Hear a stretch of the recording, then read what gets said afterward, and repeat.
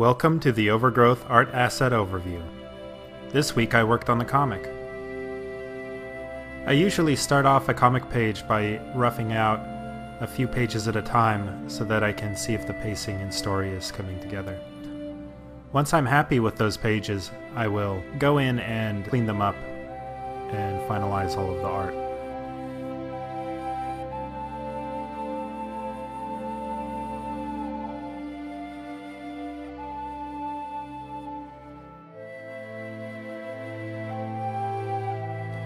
The comic's been on hiatus for a long time, but you can check out the new update at wolfire.com slash comic.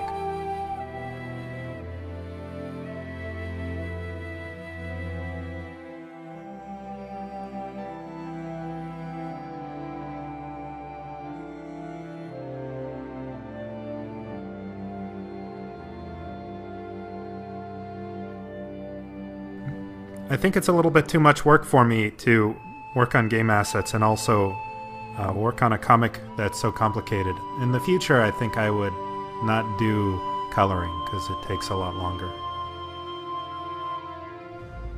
Another thing that I'd like to show off this week is a set of monoliths that I designed around platforming gameplay.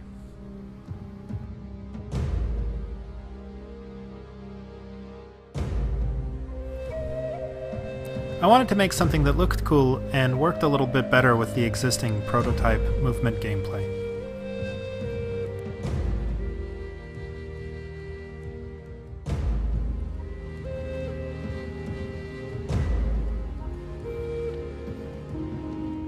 One of the things that I like to do when I design a level is to not have any specific path in mind.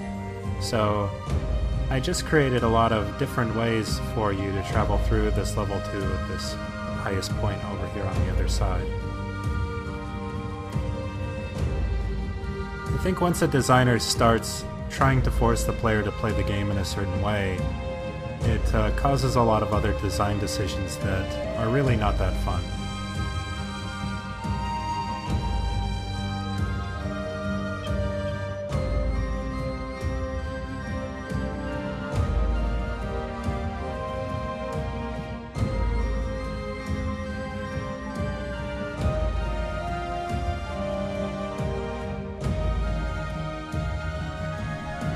I kind of liked how all of these things looked tinted red, but you can tint them any color you want with the asset tinting tool built into the engine.